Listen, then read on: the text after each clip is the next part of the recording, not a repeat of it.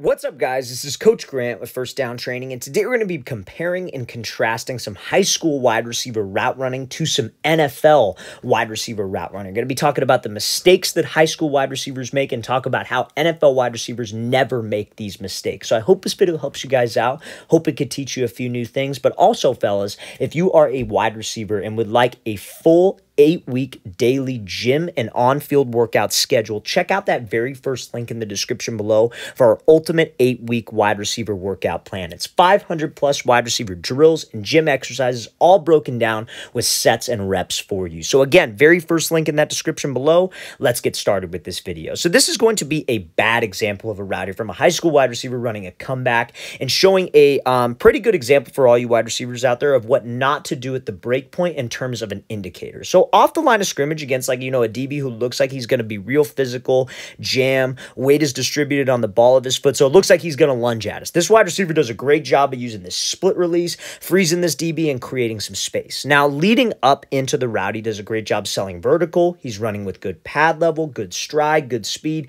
Everybody knows to do that before their breaks because we we're trying to make this DB think we're running what? A fade, right? Everything's a fade until it is not a fade. Now, a disciplined DB is going to have his eyes where? His eyes are going to be on my hips as a wide receiver. He's going to be reading my body language. He's kind of reading my speed as well, but that's more of like a feel thing. Like he's feeling my speed. If he feels me change speed, then he's going to change speed. But if he sees my body language change, me throw my hand up in the air, me raise my chest up, that is a dead indicator that I'm about to make this break. So you see how this wide receiver, before he snaps down, you see how he reaches out with this cut leg, his chest pops up in the air, his chin pops up in the air, and his hand pops up in the air. Everything about this right here looks like he's going to make a break. It is not selling fade. And before that foot even gets down, that pad level raises up. Now, I get why he's doing it. He's swinging this hand up in the air. He's raising up his chin and his chest so he can get low on the break point. So he could change levels and drop his hips. Because the only way that you're able to decelerate while running full speed is by dropping your hips violently, putting on the brakes.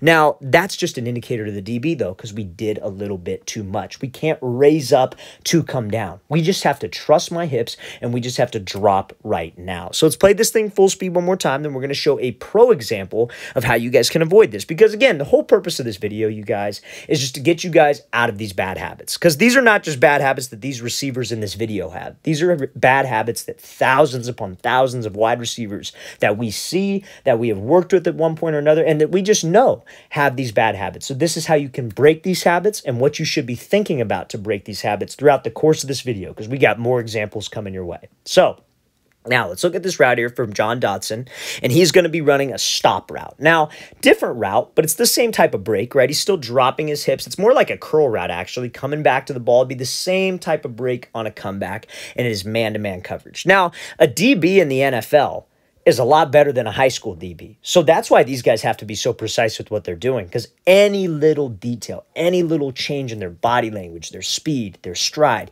will tell this DB that they're about to make a break. So let's watch Dotson here. So he comes off the ball, pushes vertical, drops right on a dime. There is zero in there are zero indicators before that break. So let's watch what he does here. Again, same pad level, same stride, and same speed as the last example. But one of these routes worked and one of the routes didn't, and it has to do with the break point So right before the break point, you see nothing changes. There's no change in his chin. He's not reaching with his feet. He is just dropping right in stride. He is trusting his hips. He is bringing that chin to his knee. It's just like somebody's got a string attached to his chin. They don't pull the string up then pull it down. They just pull the string straight down. They take that string and his chin goes straight to his knee. He changes levels. That is what we want to try to do on any single break where I have to drop my hips. Is that DB has no idea of knowing. DB is one of the hardest positions on the field because they have no idea when we are going to make a break and if if we don't tell them. At the end of the day, as a wide receiver, it's not about what the DB does right, it's about what we do wrong to give it away. I honestly think there is no such thing as great coverage or perfect coverage. I really believe that it's either a bad route or a good route. And the bad route makes the DB look good. Because you got to understand, it's so hard for this guy if we do everything right. If we put the brakes on, if we eliminate extra steps, and if we can sell this thing, there's pretty much nothing he could do. And this isn't like he broke his ankles. It's still decently tight coverage, but those little details make all the difference. So fellas, don't think of it like you have to raise up to go down. Don't reach with your cuts. All I need from you guys is to sit your butt down like you were sitting into a chair as quick as you can, like you're playing musical chairs and the music stops. And then you got a string attached to your chin. You don't pull up with the string, then go down. That string just pulls straight down right to that knee. That level change has zero indicators and that DB has no time to react. So let's play this thing full speed one more time. Great example from Dotson of what to do at the top of the route to create separation when we drop my hips. So now, next example here we're going to show from this high school wide receiver. So many wide receivers on their breaks. They are extremely, extremely off balance and they lose explosion due to something called your foot strike. So this is something that we do not talk enough about on this channel in terms of our video breakdowns. So let's watch this wide receiver. He takes an outside release on a dig route. He gets his DB to flip his hips. He puts the brakes on, but he slips and that allows this DB to recover. So why does he slip on this? He did everything right too. He took the outside release when the DB was inside leverage. He got this DB to flip his hips to the fade. He's doing everything right. Selling vertical, good stride, good speed, but I want you to watch what happens when he cuts. Look what part of his foot hits the ground first his heel. So when your heel hits the ground, not only does that slap your toe down like this and put a ton of stress on your knee and on your Achilles. When your heel hits turf or especially grass, what is going to happen usually? You are going to skid because you have no traction. And that skid right there, just that position alone, make, grosses me out with his ankle and with his Achilles. But that slip right there, as you can see, allows this DB time to recover because we are off balance and we are wasting extra time. Now, is this something that he is thinking about in the moment? Absolutely not. And I think we all know that. He's definitely not thinking about his foot strike. This has been built up from bad habit after bad habit after bad. And I'm not trying to bag on this receiver either because like I, like honestly, like there's so many receivers that do this. I'm saying this more like generally speaking.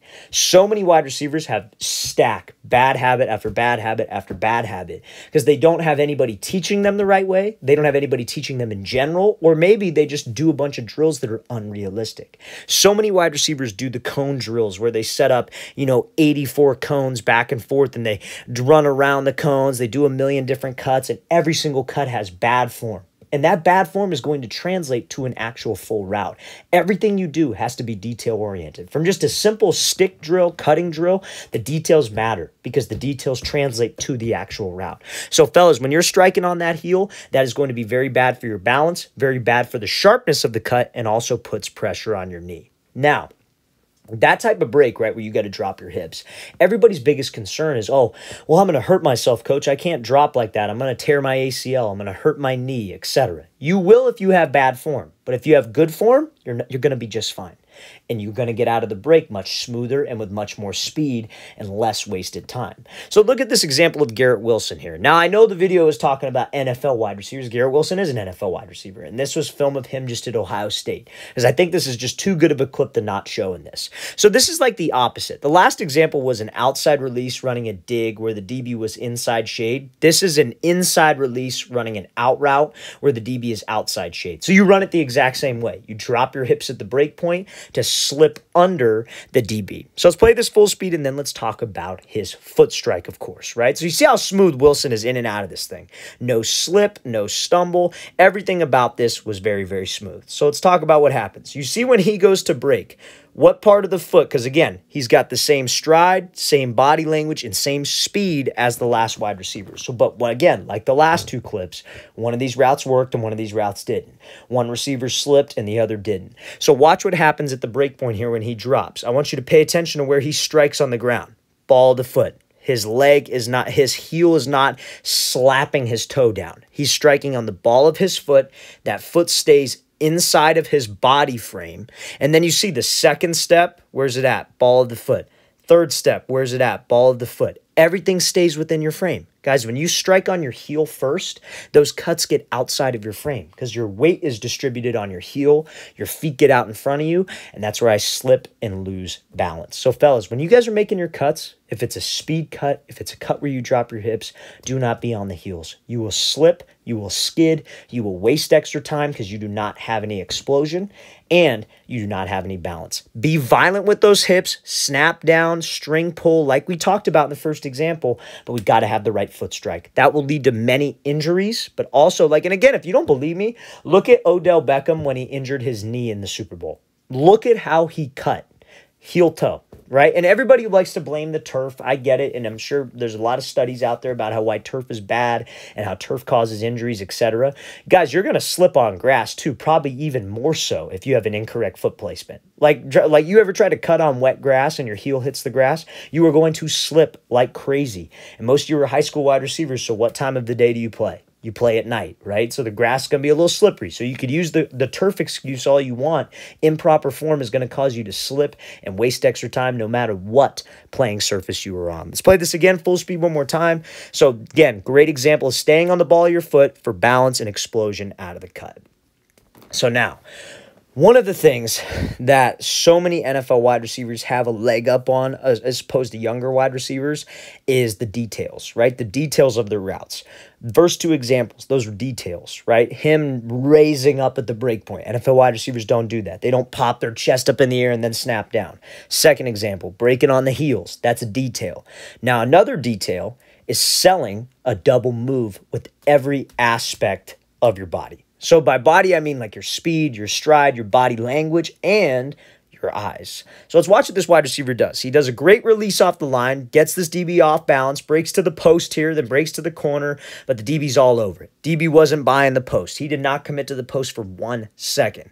Because when this wide receiver broke to the post here, I want you to pay attention. He's running hard. He's got good stride. His hips and his shoulders are committed, but look where his eyes are.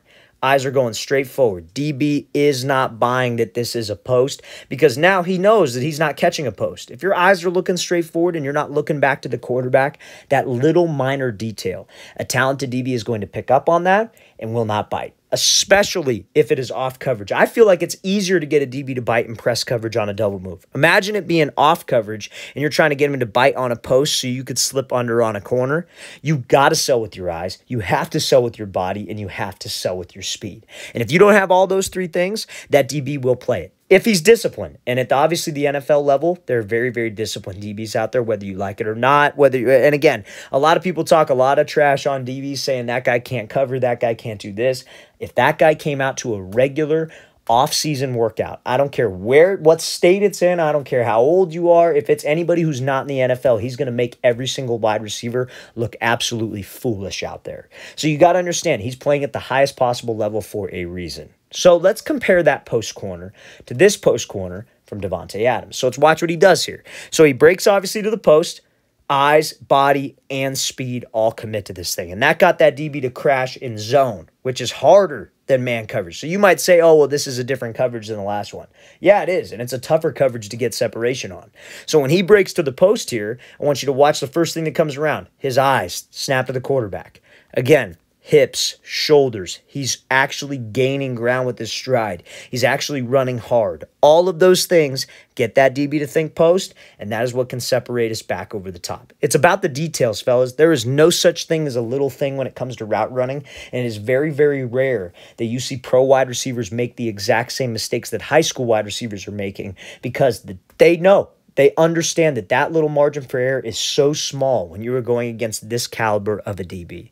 So let's play this again, full speed one more time. Great job by Adam selling with the eyes, committing the hips and shoulders, and running hard to sell that post.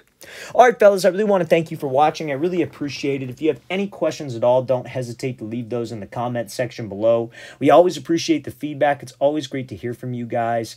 And again, fellas, if you would like a full eight week wide receiver um, field and gym workout schedule. Everything the wide receivers need to do broken down with sets and reps. Check out that very first link in the description below. We'd love to get you on that. I'll see you guys next time.